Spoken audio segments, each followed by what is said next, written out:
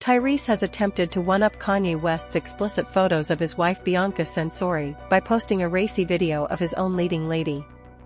The singer and actor posted a clip on social media over the weekend of Zelie Timothy relaxing in a skimpy bikini on the beach and frolicking in the sea.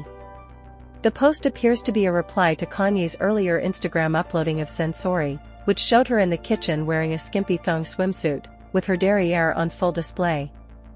Cream of wheat, Ye wrote in the caption of the risque shot. Tyrese captioned his own post, Dear Kanye. All wheat, hold the cream, seemingly jabbing the Chicago rap icon for marrying a white woman while he's dating a black woman. The R&B singer also wrote, All love.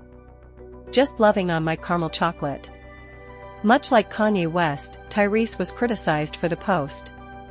One commenter said, showing off your woman like a prize horse for the world to see? I don't agree. Another added, this should not be posted for the world to see. Very beautiful but for you. Stop welcoming other men to see what you have. Protect her and cover her. Your woman is, for you not for everybody. Tyrese has been dating Zelie Timothy since 2021 after the two met on social media.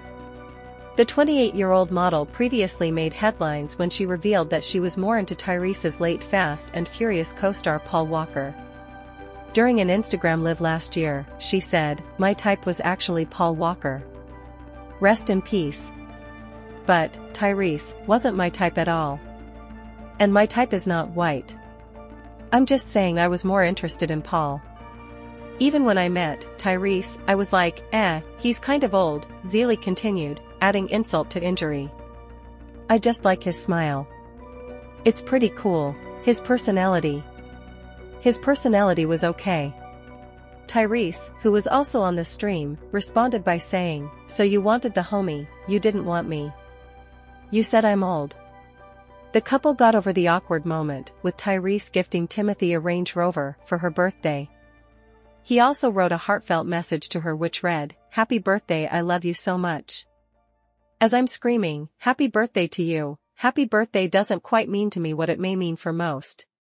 Me, and you both met at one of the most fragile and uncertain moments of our lives. The actor continued, both of us, fresh out of relationships that we're, sick, both five years both having live-in partners that we shared our lives with, both having girls that were, sick, raising both out here trying to figure out who and what to connect